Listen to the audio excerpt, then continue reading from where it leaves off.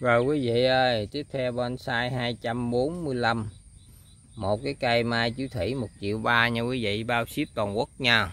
Quen ship kết lạ tiền chuyển tiền trước nha quý vị. Cây này là nó rất là già nha, tàn ở đầy đủ ấm hết trơn luôn rồi ha. Bao gồm cái chậu luôn nha. Đó, có cái co rất là ngặt luôn nha. Rồi bây giờ để tôi cho quý vị xem cái tỷ lệ nè. Đó. Ở trên quay xuống nè. Ờ. cái co độc lắm nha quý vị rồi. Cái đầu dẹp cái chai trà xanh qua bên, quay cho rõ ràng nha. Nè gốc của nó nè. Ngón tay thôi nha, bằng ngón tay cái thôi nha, nhưng mà siêu già luôn nè.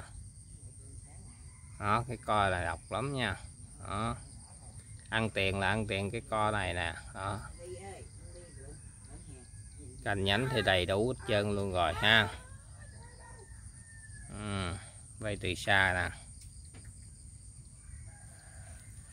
Rồi bây giờ để uh, tôi quay rõ cho quý vị coi nha. Từng chi tiết của nó nha. Ừ. cầm trên tay nha quay dưới quay lên nè. Đó. Đó, mặt sau của nó đó. Xương chi của nó đây.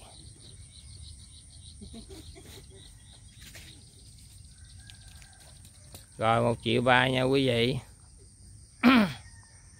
Rồi, để đây đi.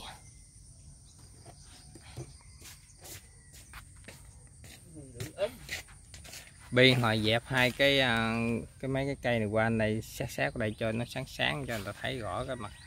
Sao để cái màu nó tiệp quá. Rồi, kết thúc luôn nha quý vị, một triệu ba nha. Rồi, xuống đi còn.